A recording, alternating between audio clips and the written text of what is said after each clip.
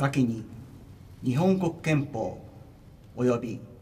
皇室典範特例法の定めるところにより行為を継承いたしました。ここに即位礼正殿の儀を行い即位を内外に宣明いたします。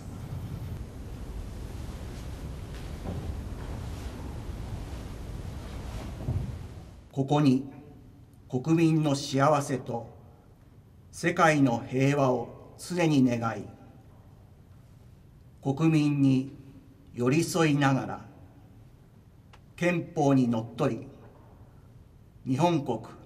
及び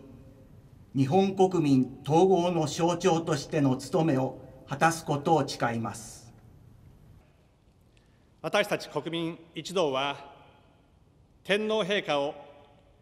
日本国及び日本国民統合の象徴とあおり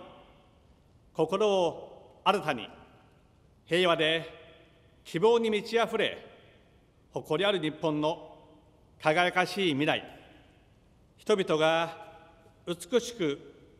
心を寄せ合う中で文化が生まれ育つ時代を作り上げていくため最善の努力を尽くしてまいります。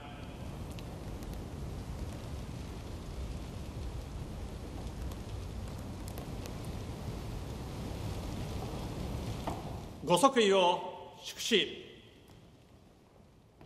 天皇陛下万歳！